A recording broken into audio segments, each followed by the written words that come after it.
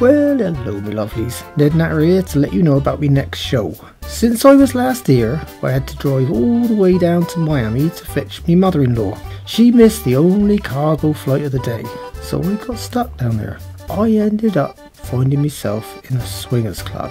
Oh dear, never again. Back on the farm, I had a couple of campers moving. Well, I needed a little bit of extra money, but it wasn't quite what I hoped for. You know, I once called Quentin calls it everyone darling does. So I'll let you fill in the blanks on that one, shall I? I get myself interviewed too about illegal aliens and Rush, me old neighbour, gives his incontinent point of view.